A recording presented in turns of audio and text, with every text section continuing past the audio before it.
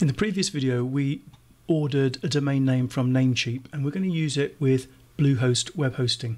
So go over to Bluehost. The home screen may look a little bit different depending on when you go, but the menu at the top should guide you. If you go to WordPress, WordPress hosting, then you can click on a view plans button to see what the plans are like. If you're just starting out, you only have one website, then the basic plan is plenty. It's got everything you need for the first year.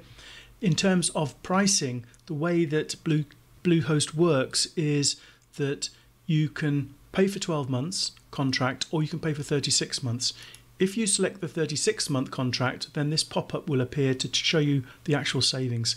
For a 12 month plan, you pay less in your first year, so you only pay $2.95 a month in the first year, whereas for a 36 month plan, you pay $4.95 a month. However, for a 12 month plan, the second year you'll be paying 11.99 and the third year you'll be paying 11.99. So your total over 3 years would be 323.16. If you pay for 36 months plan up front, then you're paying 4.95 in the first year, 4.95 a month in the second year and 4.95 a month in the third year. So you're only paying 178.20 for 3 years of hosting. That means you save over $144 in the payment that you make today by going with a 36 over a 12 month. I'm going to choose the basic plan, click on select. This offer here about WooCommerce, well, you can add WooCommerce for free, so you actually don't need that. I'm not sure what extras they give you, but you don't need to use them for WooCommerce. The next step is to set up your domain, and you're given two choices create a new domain or use a domain you own. Create a new domain is to put in there a domain you haven't actually ordered or bought yet, and then that domain, if it's available, will be associated with Bluehost. Bluehost will be your registrar and your web host. I don't like doing that. I like having the registrar and web host separate. And in the previous video, we bought the domain on Namecheap. The domain I bought was teachingxyz.com. So you enter your domain that you own into this box and click on next. That will then associate your domain with your account and you can now come in and fill in all the details. Down here under package information, we have the service term. I'm going to do it for 12 months. You'll notice they do give you an option of just ordering it for one month, but then you're paying $15.99 a month. So you should go for at least a minimum of 12 months. So my total hosting price for 12 months will be $35.40. If we scroll down, they do quite often try to sell you other essentials. I think Code Basic is normally checked SiteLock Essentials is normally checked in this three month professional email. You don't need any of them. So just deselect everything that's in there. And the price you should be paying is the price it says up here for hosting price. If it's more, then just make sure you've got these things unchecked. There's my total 3540. I'll select PayPal. And then underneath that, you should read the information. It says by clicking submit, I agree to auto renewal terms. In other words, all plans are auto renewed unless you cancel. You can cancel at any time before the renewal date, and you can do that either by calling them and they have the number here, or just by logging into your account and cancelling it from within the account. It's fairly easy. And then this checkbox do you want to hear about how Bluehost can help me grow my business? That's up to you. I don't want that. So the next step is just to click to pay. Just a word of warning here. I went through the process and ordered with PayPal. After the PayPal payment looked like it had gone through, I was just redirected straight back to this page. And the problem was actually the password. I had check marks next to each of these, but this bottom one was not green. I checked PayPal and the payment didn't go through. When you're creating your password, make sure you have all green check marks before you proceed. In my case, I've recreated a password to make sure it's exactly right, but even if I paste that in, it doesn't update this check mark and so the payment would fail. So what I had to do was delete these passwords that are in here. I created a brand new password to make sure that it matched the criteria required. Now you can see I'm getting all green checks. Make sure I paste in exactly the same. Just check that the billing is the same and then go through the PayPal payment and then it worked.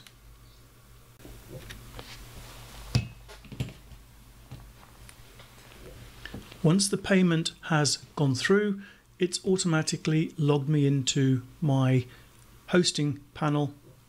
You can see it's now installing WordPress. It says your WordPress site is ready. This process can take several seconds, so you just need to be patient. There is a little arrow over there on the right if you want to have a look at some of the features, but otherwise just wait and you will be redirected to your website. This is the screen that I land on. At the bottom there's two buttons, Migrate a WordPress site or the one they want you to select, Start Setup.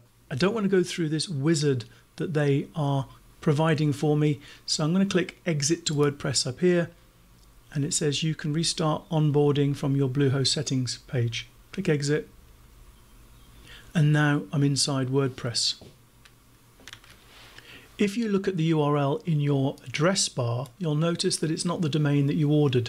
That's because your domain is bought at Namecheap and you haven't told Namecheap that you're using Bluehost. So we need to do that. Before you do, click on this Bluehost account button.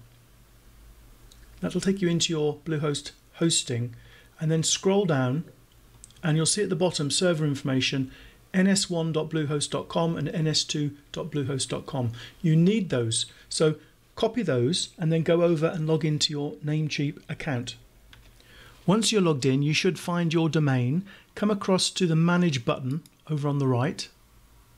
And then when that loads up, if you scroll down to where it says name servers, at the moment it says Namecheap Basic DNS drop that box down and select custom DNS. And then in the name server 1, paste in the first ns1.bluehost.com, name server 2, post in the second one.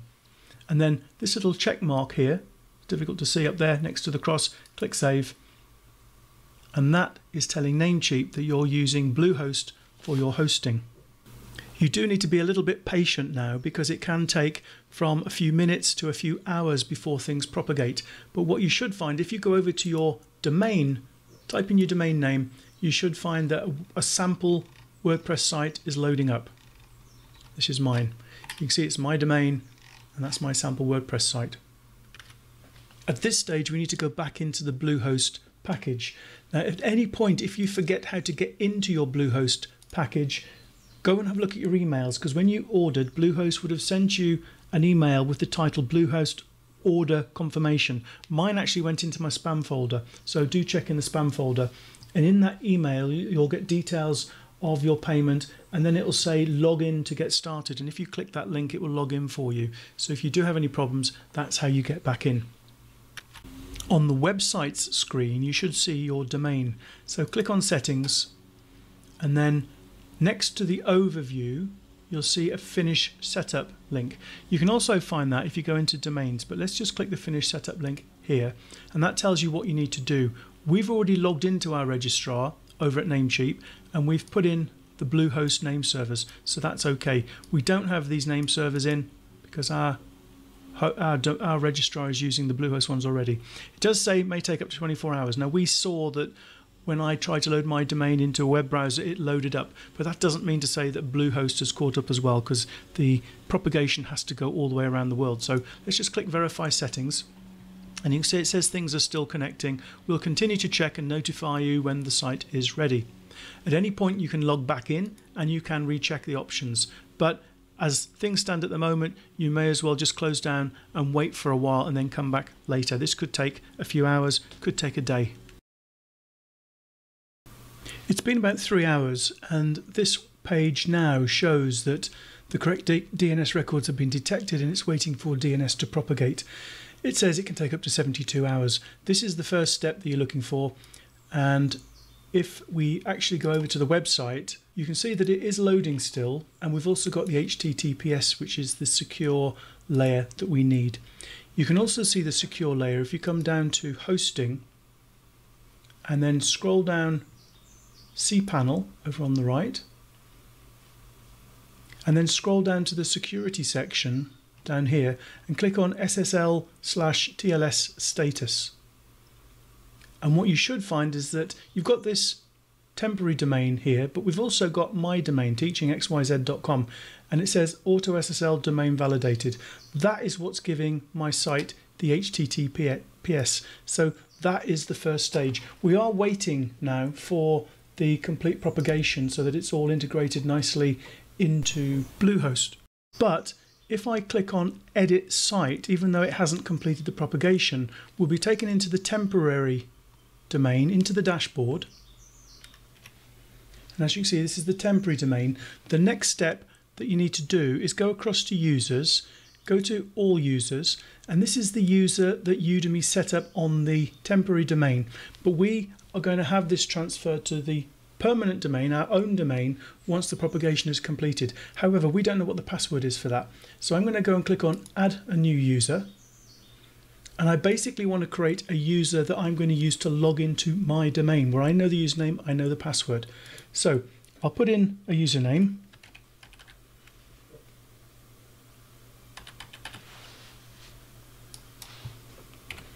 So I'll put in a username and email address. Put first name, last name, website,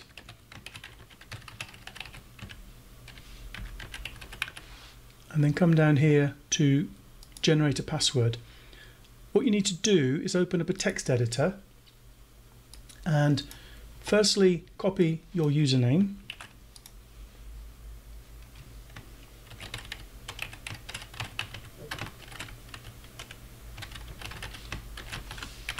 and then copy your password as well.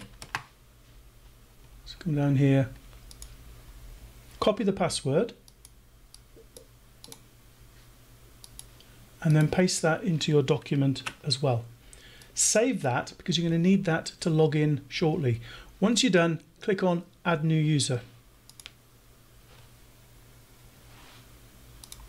And you can see now my new user is set up. However, I made one mistake. I've got it set up as a subscriber. I need to go back in. I need to change that to admin.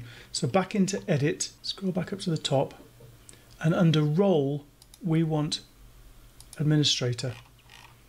Come down, update user. And if we now go to all users on the left, you can see that my user is there. That is the one we're going to use to log in to my domain at teachingxyz.com.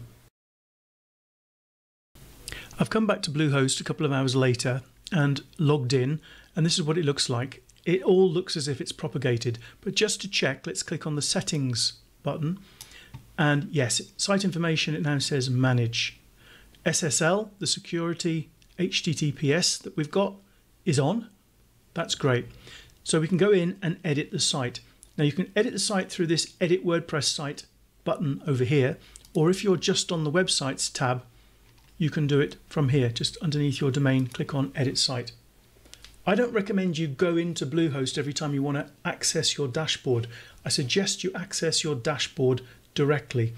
And we got the URL earlier in this video. It's your domain name forward slash WP dash login.php. But before we log out and have a look, let's just go down to users and you can see there we are. We're on my teachingxyz.com domain. The user we set up on the temporary domain that Bluehost had set up for us has carried over. That's the one we're going to log in with. So let's log out. And this is the login page. We can access the login page anytime we like by going to our domain forward slash wp login.php. The other one you can access it through is wp admin, and that's likely to redirect to the login.php. Okay, so that's the URL you need to bookmark, and whenever you want to go into your dashboard, that's the URL you should use. I've got my passwords saved in a password program, so I'm going to just log in through that, and I'm now inside my dashboard for teachingxyz.com. Just a little note, if you're not using Bluehost, then you're not going to see this Bluehost bit here. You can see up there, we have Bluehost. That is added through a plugin. And if we go over to the plugins, Bluehost has put in quite a few plugins. This is the one that's adding that. Okay, it has a few other settings, including something that's really quite useful, that is, if I can find it, where are we? Staging. There we go. So you can stage your site. I'm not going to go into it, but it's worth having a look at. It means you can do changes on your site and then when you're happy with them, you can push them to the live site. And also there is performance, but there are caching plugins that you could use instead. If you want to get rid of this Bluehost plugin, you can, but just be aware you will lose some of the things that have been added that are quite useful, the staging one in particular. So I could select all of those. In fact, let's just not select all of them for a moment. Let's just select the Bluehost and then you'll see what happens. If I deactivate that Bluehost, continue and skip and deactivate, and then if I go back up and I refresh, well, I don't need to refresh, it's just refresh for me. You can see the Bluehost thing has disappeared now. If I go back to the install plugins, I can actually activate that. Okay, that's now activated. From the way that I work, I like to start with a clean slate. So I'm going to select all the plugins, unselect the Bluehost, and then just deactivate all of the other plugins. That will get rid of a lot of these items in the menu over here. Okay, now we have a much leaner WordPress. This is the only plugin I would likely keep on Bluehost because it's useful for the staging. I don't like the fact that it's got this item up here, but I can just ignore that. I would just say that any plugins that you deactivate you should delete them from the dashboard. They can end up being security threats if they don't get updated and there's a loophole found. So I would always delete any inactive plugins. You can always add them back later anyway, just by going to add a new plugin. So now all I have is the Bluehost plugin. That's WordPress installed on my domain using Namecheap as the registrar.